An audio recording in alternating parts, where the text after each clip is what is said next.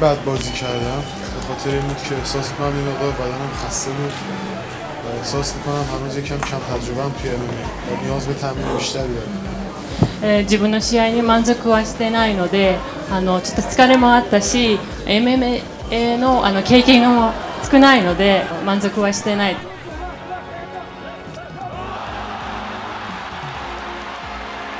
I feel great. I'm very happy and uh, how could how else I, I could feel uh, except happy.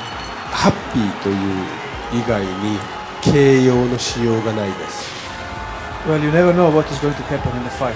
I don't predict anything, you know. I just I just try to do my best in this tournament, and I did. And I win all three fights with KO. I just did the best I could.